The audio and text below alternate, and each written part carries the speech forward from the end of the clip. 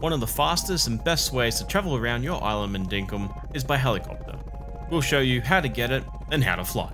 Having the helicopter is a long journey, but something can take a few play sessions to achieve. You'll need to have Franklin, the mad scientist, moved into your island. If you need help with NPCs, make sure you check out the Dinkum Wiki, where all this information about the helicopter and NPCs can be found. You unlock new vehicles with Franklin by selling him shiny discs, which by itself can actually be quite profitable. You'll need to have sold him 28 shiny discs to unlock the helicopter. You'll need to have unlocked level 3 vehicle license as well, which you can purchase for Fletch. The level 3 vehicle license will cost you a total of 7,200 points, but you'll need about 3,600 to unlock level 1 and level 2. The helicopter costs 3 million dinks. It'll also cost you 10 old gears, 10 old springs, 15 iron bars, 4 old contraptions, and 10 bright wires.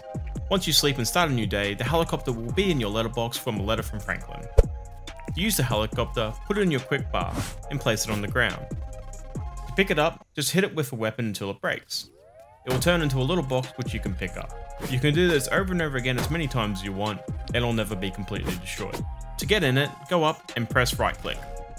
Hold spacebar or left click to go up, and right click to go down. W is forward, S is back, and A and D is left and right. To exit the helicopter, you just press E. You can drop out of the helicopter at any height, as there is no fall damage within Dinkum. For controller, press circle or B for up, and X or A for down.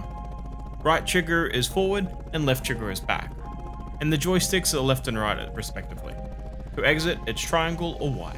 You can only place one item on the back of the helicopter, like an egg, amber chunk, trapped animal, or another player. You might be able to fit a second one, but it takes a bit of patience, a bit of time to get it. A little bonus tip is you can actually land your helicopter on Jimmy's boat. This will make it easier for you to get in and get out for the high veil sails. Having a helicopter is a major advantage when looking for resources or trying to find an NPC like Ted Selly or even Nick. It can even assist you when designing part of your island as you can get a better vantage point to see what it looks like.